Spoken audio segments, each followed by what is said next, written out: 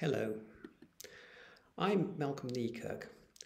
I'd like to tell you about Frettens' next online coffee break briefing for insolvency professionals.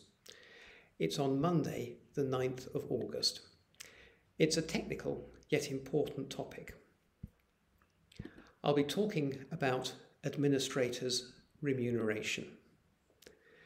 There are a few points I'll want to look at. Firstly, different flavours of administrations. Who you go to in any particular case to get your fees approved. Another is committees. Are they more important? At least in some cases, now we have got Crown preference that we need to think about again. There are some finely balanced points around this topic generally. It's useful to know where they are.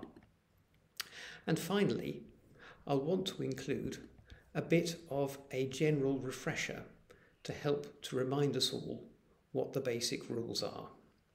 So please join me at 10.30 on Monday morning on the 9th of August when I'll be talking about remuneration in administrations. Some of it will be ANARAC stuff, but there will be some general principles too. It'll be only half an hour of your time. I'll say that again. Monday morning at 10.30 on the 9th of August. I hope to see you then.